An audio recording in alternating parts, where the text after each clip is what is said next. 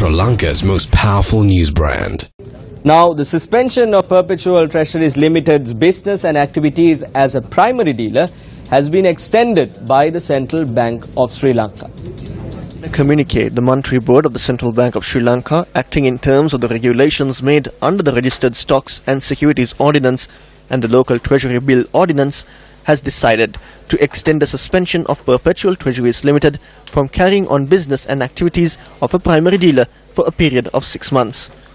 The extension came in effect from 4.30 pm today in order to continue the investigations being conducted by the Central Bank of Sri Lanka. The suspension issued last year on PTL was to come to an end tomorrow.